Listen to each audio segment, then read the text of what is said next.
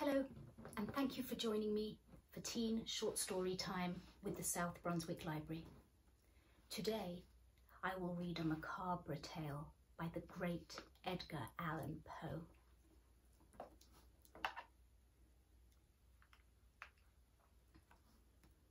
The Cask of Amontillado. The thousand injuries of Fortunato I had borne as best I could, but when he ventured upon insult, I vowed revenge. You, who so well know the nature of my soul, will not suppose, however, that I gave utterance to a threat. At length I would be avenged. This was a point definitely settled. But the very definitiveness with which it was resolved precluded the idea of risk. I must not only punish, but punish with impunity. A wrong is unredressed when retribution overtakes its redresser. It is equally unredressed when the avenger fails to make himself felt as such to him who has done the wrong. It must be understood that neither by word nor deed had I given Fortunato cause to doubt my goodwill. I continued, as was my wont, to smile in his face, and he did not perceive that my smile now was at the thought of his immolation. He had a weak point, this Fortunato, although in other regards he was a man to be respected and even feared. He prided himself on his connoisseurship in wine. Few Italians have the true virtuoso spirit. For the most part, their enthusiasm is adapted to suit the time and opportunity to practice imposture upon the British and Austrian millionaires. In painting and gemmery, Fortunato, like his countrymen, was a quack. But in the matter of old wines, he was sincere. In this respect, I did not differ from him materially. I was skilful in the Italian vintages myself and bought largely whenever I could. It was about dusk, one evening during the supreme madness of the carnival season, that I encountered my friend. He accosted me with excessive warmth, for he had been drinking much. The man wore motley. He had on a tight-fitting party-striped dress, and his head was surmounted by the conical cap and bells. I was so pleased to see him that I thought I should never have done wringing his hand. I said to him, My dear Fortunato, you are luckily met. How remarkably well you are looking today. But I have received a pipe of what passes for Amontillado, and I have my doubts. How? said he. Amontillado? A pipe? Impossible! and in the middle of the carnival. I have my doubts, I replied, and I was silly enough to pay the full Amontillado price without consulting you in the matter. You were not to be found, and I feared of losing a bargain. Amontillado! I have my doubts. Amontillado! And I must satisfy them. Amontillado! As you are engaged, I am on my way to Lucchesi. If anyone has a critical turn, it is he. He will tell me, Lucchesi cannot tell Amontillado from sherry. and yet, some fools will have it that his taste is a match from your own. Come, let us go. Whither? To your vaults. My friend, no, I will not impose upon your good nature. I perceive you have an engagement. Lucchesi, I have no engagement. Come. My friend, no, it is not the engagement, but the severe cold with which I perceive you are afflicted. The vaults are insufferably damp. They are encrusted with nitre. Let us go, nevertheless. The cold is merely nothing. Amontillado! You have been imposed upon, and as for Lucchesi, he cannot distinguish sherry from Amontillado. Thus speaking, Fortunato possessed himself of my arm, putting on a mask of black silk and drawing a cloak closely about my person, I suffered him to hurry me to my palazzo. There were no attendants at home. They had absconded to make merry in honour of the time. I had told them that I should not return until morning and had given them strict orders not to stir from the house. These orders were sufficient, I well knew, to ensure their immediate disappearance, one and all, as soon as my back was turned. I took from their sconces two flambeaux, and giving one to Fortunato, bowed him through several suites of rooms to the archway that led into the vaults.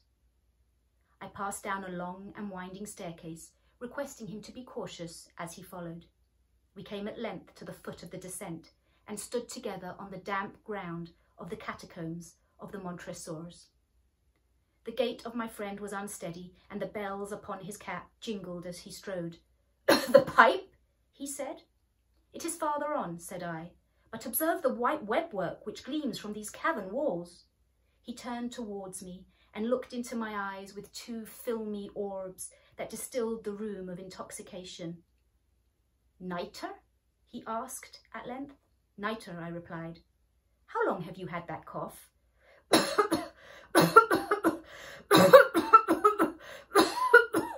my poor friend found it impossible to reply for many minutes. It's nothing, he said at last. Come, I said with decision, we will go back. Your health is precious. You are rich, respected, admired, beloved. You are happy as once I was. You are a man to be missed. For me, it is no matter. We will go back. You will be ill, and I cannot be responsible. Besides, there is Lucchesi.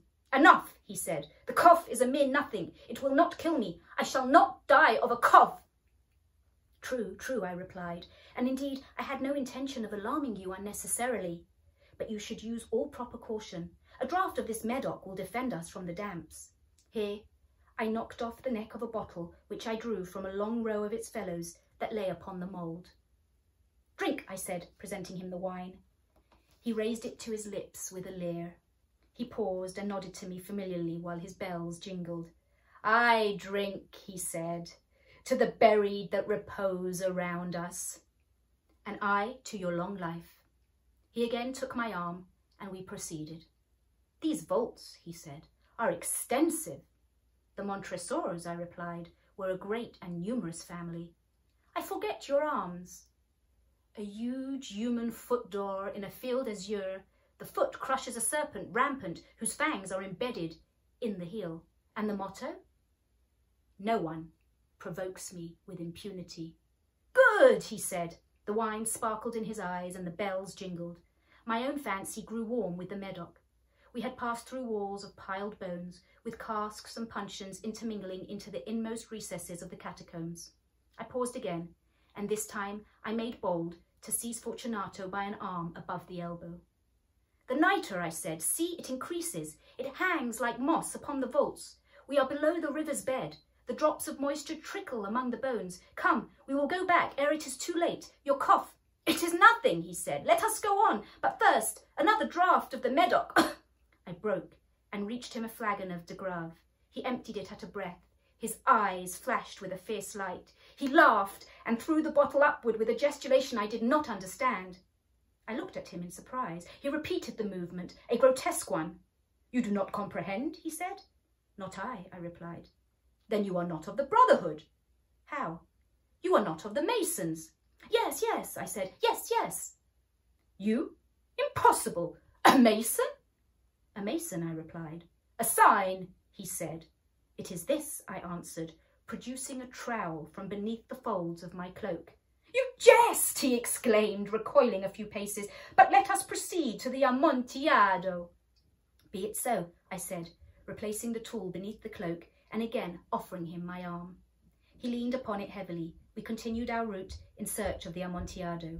We passed through a range of low arches, descended, passed on, and descending again arrived at a deep crypt in which the foulness of the air caused our flambeau rather to glow than to flame. At the most remote end of the crypt there appeared another less spacious. Its walls had been lined with human remains piled to the vault overhead in the fashion of the great catacombs of Paris. Three sides of the interior crypt were still ornamented in this manner. From the fourth, the bones had been thrown down and lay promiscuously upon the earth, forming at one point a mound of some size. Within the wall thus exposed by the displacing of the bones, we perceived a still interior recess, in the depth about four feet, in width three, in height six or seven. It seemed to have been constructed for no especial use within itself, but formed merely the interval between two of the colossal supports of the roof of the catacombs, and was backed by one of their circumscribing walls of solid granite. It was in vain that Fortunato, uplifting his dull torch, endeavoured to pry into the depth of the recess. Its termination the feeble light would not enable us to see.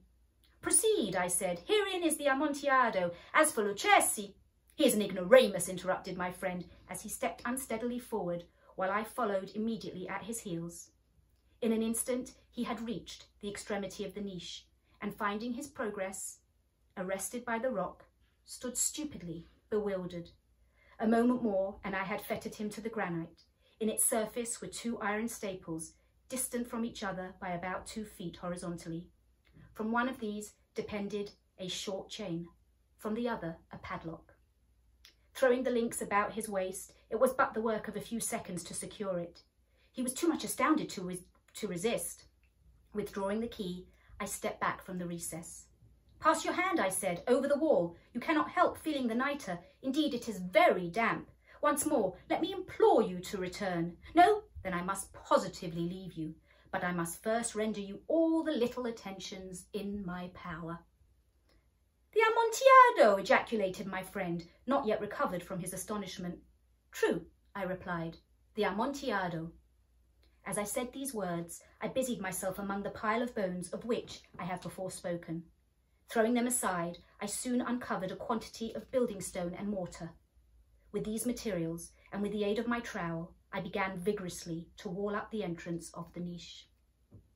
I had scarcely laid the first tier of the masonry when I discovered that the intoxication of Fortunato had in great measure worn off. The earliest indication I had of this was a low moaning cry from the depth of the recess. It was not the cry of a drunken man. There was then a long and obstinate silence. I laid the second tier and the third and the fourth, and then I heard the furious vibrations of the chain. The noise lasted for several minutes, during which, that I might hearken to it with the most satisfaction, I ceased my labours and sat down upon the bones. When at last the clanking subsided, I resumed the trowel and finished without interruption the fifth, the sixth and the seventh tier. The wall was now nearly upon level with my breast. I again paused, and holding the flambeau over the mason work, threw a few feeble rays upon the figure within. A succession of loud and shrill screams, bursting suddenly from the throat of the chained form, seemed to thrust me violently back. For a brief moment, I hesitated. I trembled. Unsheathing my rapier, I began to grope with it about the recess, but the thought of an instant reassured me. I placed my hand upon the solid fabric of the catacombs and felt satisfied. I reapproached the wall. I replied to the yells of him who clamoured. I re-echoed. I aided. I surpassed them in volume and in strength. I did this, and the clamourer grew still. It was now midnight, and my task was drawing to a close. I had completed the eighth, the ninth, and the tenth tier.